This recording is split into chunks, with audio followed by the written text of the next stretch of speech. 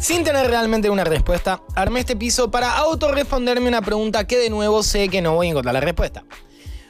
¿Por qué son los openings de anime tan jodidamente increíbles? Hay algo en los openings de anime, para quienes no sepan lo que son los openings de anime, son el comienzo Claro. musical de los, de los animes. Épicos. Ya sea el de Digimon, el de Evangelion o el de Dragon Ball Z. ¿Qué hacen que diga, ya fue? Oh, Dios, ¿es acaso esta la mejor intro del puto planeta? ¿Por qué? No, ya fue, no pasa nada, no pasa nada, porque seguimos, seguimos, seguimos. ¿Por qué? Y yo me pregunto, ¿por qué pasa esto? ¿Por qué no me pasa con intros tal vez de otra serie que tal vez puedes llegar a decir, uy, qué bueno que está el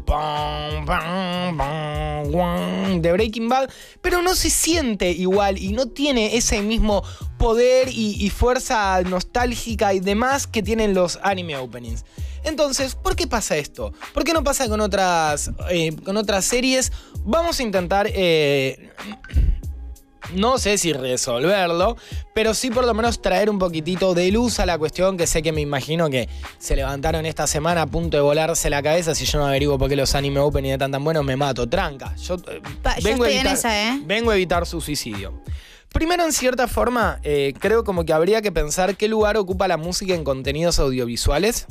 Y la verdad es que por mi cuenta sola no podría decirlo, pero gracias al poder del internet y mi capacidad de verme 500 videos en media hora en YouTube, llegué a varias conclusiones. Eh, la primera podría llegarse a interpretar que casi todo lo que se usa en un proyecto artístico, sobre todo en un audiovisual, tiene un porqué. O por lo menos eso es lo que quisiéramos, ¿no?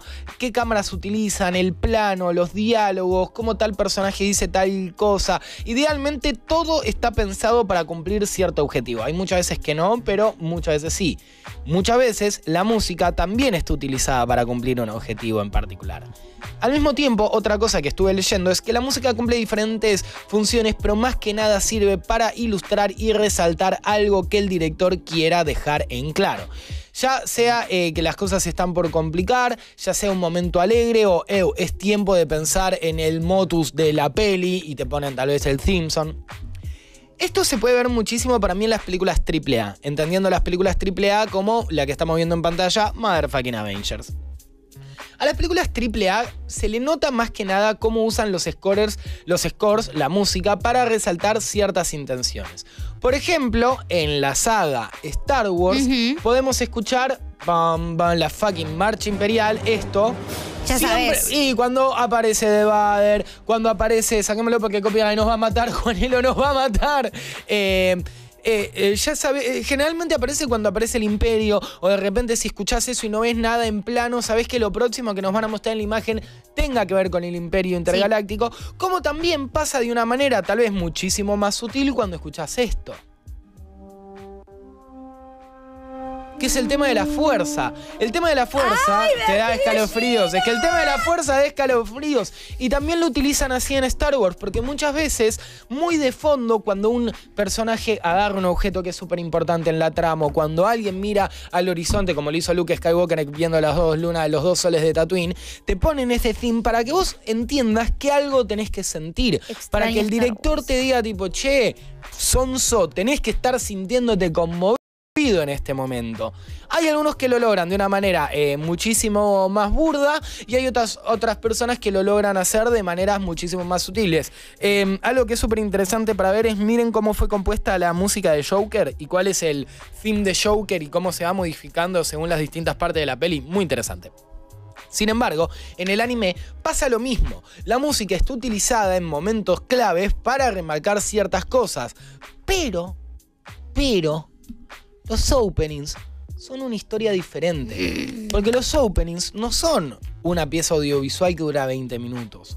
Son algo diferente. Son la previa a algo. Los openings, más allá de que puedan llegar a ser, para mí cumplen am- ambas funciones que acabo de nombrar. El objetivo que tiene un opening, la verdad, es engancharte con el anime que vas a llegar Sí. a ver. Tal vez eh, eh, nosotros no tanto, pero en Japón cuando los animes, digamos, salen en la tele, es clave que lo que te diga tipo, che, se viene Pokémon, te Se viene Pokémon, te rompa la cabeza. Lo mismo con Naruto, demás. Si a vos no te enganchó el opening del anime, difícilmente te vayas a quedar a ver el anime. Sobre todo, de nuevo, si fuéramos a Japón y los animes salieran en la tele. Tienen sentido crear una intro lo suficientemente atrapante como para poder, por lo menos, que consideres pasar la próxima media hora frente a la televisión. Ahora, ¿Qué muestra el anime, el anime opening? Para mí, el anime opening muestra el alma del anime y bancame, querido Taku, que me querés cagar a trompadas. Me puse un poco romántico de más, pero escúchame, escúchame. En el anime, donde la animación es tan importante que hasta le da nombre al género, Obvio. animu, animación, anime, sería un desperdicio utilizar dos minutos de- al comienzo de cada capítulo solo para mostrarte crípticamente lo que va a pasar a más adelante. Porque dicho sea de caso, muchos animes tienen imágenes eh, sobre lo que va a pasar más adelante. Sí, o para mostrarte los títulos como hacen las series occidentales, que las intros son solamente para poner los nombres de los actores. Claro, entonces, igual digo, pero sí es verdad que los animes muchas veces, los anime openings son como lo que te vas a ver más adelante sacado de contexto. Pero para mí, pero para mí, eh, o sea, muchísimos openings tienen imágenes de la serie, pero también tienen piezas pensadas exclusivamente para ese momento. Por ejemplo, un volcán en erupción, un Goku transformándose, un personaje misterioso que lo ve desde el fondo mirando como todo oculto. Y si bien puede ser que sean escenas de algo que sucederá en el anime más adelante, intentan mostrarte de qué va la historia más allá de qué momentos ocurrirán en ella. Esta historia tiene emoción, tiene misterios, tiene peleas, tiene autosuperación, tiene colosos titanes que harían que el cerebro de un hámster explote. Ah, no, perdón, colores titilantes que harían que el cerebro de un hámster explote en mil pedazos. Me gustaba la Titanes. Sí, la de los titanes tiempo. Y al mismo tiempo, entendiendo que es como un conjunto de imágenes específicamente pensadas para hacerte entender de qué va a ser el anime que veas, pero al mismo tiempo engancharte, todavía no estamos hablando de lo más importante de los anime openings. ¿Qué, qué es? La música. La música en los openings es lo más importante. ¡Lo más! Y sin embargo, varía muchísimo entre los géneros y entre sí. Por ejemplo, nada tiene que ver eh, esta intro, que es la intro de Evangelion, que está hecha como para que hay un análisis de un gallego en YouTube que lo analiza, sí, ya lo vimos todo. Es la única intro que no se omite nunca. Déjala, déjala. Bueno, no importa.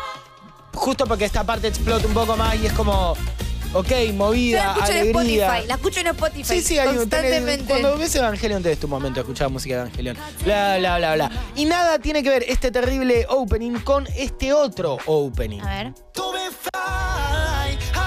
Este no sé cuál es. Adivina. Sí, obvio. Suena, suena re, re tipo, amigos.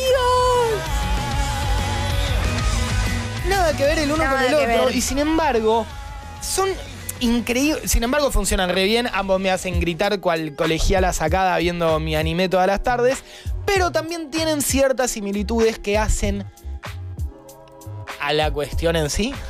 Para empezar, los openings no suelen ser muy largos, porque ya de por sí los animes duran como 23 minutos, entonces no te puedes comer 5 minutos de canción en el opening. De, de hecho, casi ninguno que haya visto yo llega a los 2 minutos, No. todos duran un minuto algo. Por ende, podríamos pensar que tenemos un tiempo muy reducido para contar musicalmente algo. En cierta forma, los openings se benefician de esto al poner juntas las diferentes partes de las canciones. Estribillo, puente, estrofa, todos están comprimidos en un minuto y pico de canción, lo que hace que musicalmente nunca te aburras y sea hiper mega estimulante. Es, eh, eh, la comparación sería como clavarte un triple shot de café con 3 kilogramos de azúcar, quedas totalmente recontra hiper mega remanija, Sí. como los PNT que tenemos que decir, ¿está manija? Bueno, así de manija quedas. Mal, dura un minuto y tenés, o tenés tipo la intro, pa, pa, pa, pa, boom, estrofa, solo guitarra, estrofa, estribillo, estrofa, estribillo. Es como la mejor canción que nunca jamás hicieron. Al mismo tiempo, están compuestos por artistas que claramente la rompen y hacen que su música esté extremadamente cargada de sentimiento. Ya sea Sasageyo de Attack on Titan o alguna de Full Metal Alchemist, to- todo el tiempo están apelando a un lado sentimental. Sí. Y no digo un lado sentimental de querer hacerte llorar, pero que te sientas o con fuerzas o que veas el mañana o que de realmente quedes totalmente sacado. Entonces, si juntamos canciones increíbles y comprimidas y las imágenes increíbles del anime que vamos a ver, más el sentimiento general con el que presentan todo demás, que además Ah, perdón, que con el sentimiento general que cargan estos temas, tenemos en cierta forma un increíble mini videoclip del anime que vamos a presenciar, que además los vemos siempre que está por empezar a que siempre que estamos por empezar a consumir algo que nos da placer. Sí. Por ende, la ley del reflejo condicional formulada por el premio Nobel Iván Pavlov, no es mentira lo que estoy diciendo, o en otras palabras la jodita que le hace Jim Dwight con las mentitas que suena una campana a tal hora y le da una mentita, entonces después hace sonar la campana y Dwight no sabe por qué, necesita tener algo en la boca, nos demuestra que lo que consumimos por placer de forma repetitiva se termina afianzando muchísimo más en nuestro cerebro que otras cosas. Por ende, aunque no lo creas, los anime openings están, o sea, minuciosamente creados para quedarte en tu mente y liberar endorfina cada vez que lo escuches. Algo que me comentaban el otro día Joaquín y Bichi del maldito anime, porque yo les pregunté por qué carajo en una sola temporada Attack on Titan me cambiaba el anime, el intro cinco o seis veces. No, y me dijo eh, que te fijas que cuando cambian el arco narrativo, cambia la intro. Porque la intro, como dijiste, dijiste muy bien, cuenta cosas que van a. te está haciendo lo que es el anticipo, el foreshadowing te está contando las cosas que vas a ver. Gracias, querida, anticipo el foreshadowing.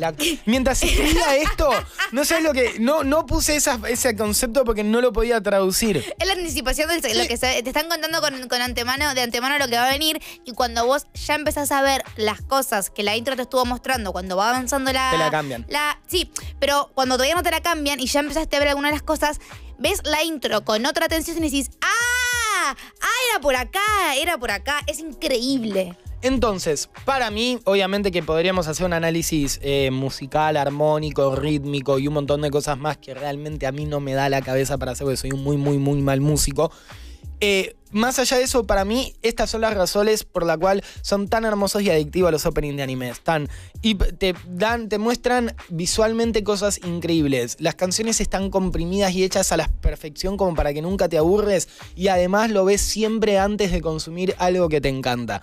Si ustedes quieren decirme por qué creen que los anime openings son tan increíbles, pueden escribirme a noxico, que es mi Instagram, pero tienen mucha más chance de que los lea y les dé pelota en arroba Bestia, que es mi Twitter, porque sinceramente los DM del Instagram me da miedo abrirlos. Así que charlemos de animes opening, compartan tal vez los openings de anime que más les gustan. Sé que como vi, no vi tanto anime y no soy un otaku, todavía no me gradué de la escuela otaku, me faltan un montón, así que todo comentario y toda eh, enseñanza es súper mega bienvenida y todo sea en pos de expandir y compartir más opiniones otaku.